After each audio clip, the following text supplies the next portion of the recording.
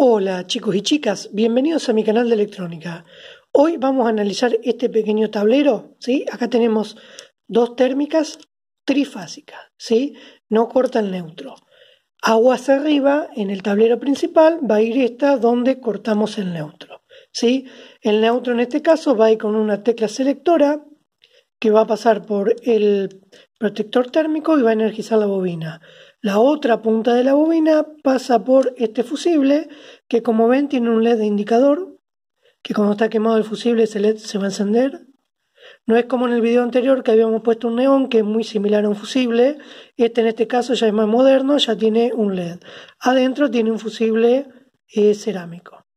Ven, cada contactor tiene su eh, fusible. Y digo que va a ir con una llave selectora porque o van a prender una o prenden la otra, ¿sí?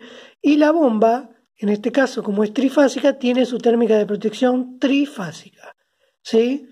Y acá tenemos el neutro que va a ir al selector, que va a hacer activar una bobina a la otra y va a tener su fusible de protección. Es importante poner este fusible de protección para la bobina y para el comando, porque ahora les voy a mostrar una bobina de contactor quemada decía, porque eh, miren cómo se puede recalentar y hacer un corto, ¿lo ven? Cómo está quemada la bobina, alcanzan a ver ahí? Y eso podría dañar el contactor. Y este tipo de contactor viene el repuesto de la bobina y se cambia. Entonces, cuando tengamos un corto en la bobina, ponemos un fusible de un amper, ¿sí? Y se va a quemar el fusible y no vamos a tener daños porque todo esto es eh, como ven, todo esto es un conjunto y está la bobina que se puede cambiar. En este también, este de otra marca, también se podría cambiar la bobina. En este caso la bobina está arriba, A1, A2, y en este otro la bobina está abajo. ¿Sí? Bueno, este es un videito cortito. ¿Qué más podemos decir? Ah, acá tiene la puesta a tierra el tablero. Todo lo que sea rieldín está puesto en la chapa. Tiene la puesta a tierra como debe ser. Y listo, no podríamos decir más nada. Si quieren vemos un poquito los planos de este tipo de, tablero. Algo más para decir es que este es el interruptor que va a seleccionar una bomba o la otra. Tiene las conexiones ahí. Va a seleccionar o una bomba o la otra. O sea, va a pegar un contactor o el otro. Nunca van a estar, en este caso, prendidas las dos al mismo tiempo. Muy bien, acá tenemos el planito y antes que nada voy a aclarar que esto no es un plano técnico, ¿sí? Esto es un plano para mostrarle el análisis del tablero, nada más. Esto no es un plano técnico. En un plano técnico la parte de potencia de comando podría estar separado o en el mismo plano pero abajo, ¿sí? Podría estar separado lo que es potencia, normalmente está separado, de hecho en los planos técnicos viene una hoja para lo que es potencia y otra hoja para lo que es comando. Toda la parte de la bobina y todo está en otra hoja separado de donde están las térmicas trifásicas que sería la parte de potencia, ¿sí? Venimos, que yo ya tengo un disyuntor arriba donde tengo RCTN, nos vamos a la tetrapolar que les mencionaba recién, donde también vamos a cortar el neutro, y de la térmica tetrapolar nos vamos a las dos térmicas trifásicas, ¿sí? Cada térmica trifásica tiene su contactor donde va el motor. En un caso de un corto en un motor va a saltar esta térmica de acá, que es la que protege el motor, o en un caso de sobrecorriente, ¿no? También se va a abrir la térmica esta, que es la que protege el motor, y en el otro caso, también para el motor 2, ¿sí? o, la bomba 2, podría, eh, va a saltar de hecho esta que está acá. La de acá arriba es un corte general donde también cortamos el neutro. Esta es tetrapolar el corte y estos son trifásicos, ¿sí? El neutro lo mandamos a la llave selectora, que es la que le mostré recién. Cuando pongamos en 1 viene por acá la corriente, pasa por el 95-96 del protector térmico. Recuerden que esto no está así en un plano técnico, yo lo hago para mostrarlo a ustedes, y me voy al A2 de la bobina del contactor.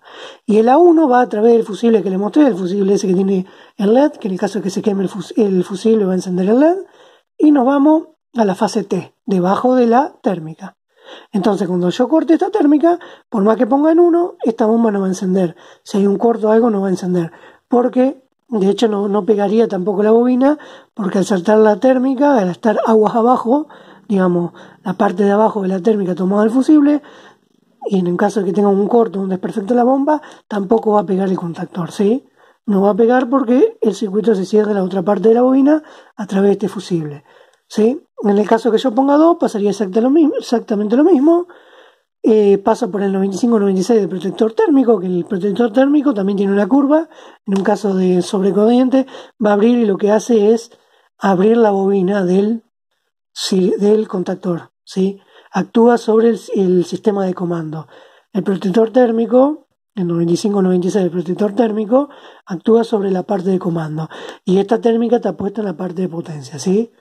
A lo mejor antes de llegar a un cortocircuito o algo, ya cuando hay una sobrecorriente, esto lo, lo va a detectar, o sea, está hecho para eso, se puede graduar, de hecho, ya armamos algunos videos de eso en el canal, después lo voy a dejar en la descripción, donde hablamos fallas también en este tipo de protector.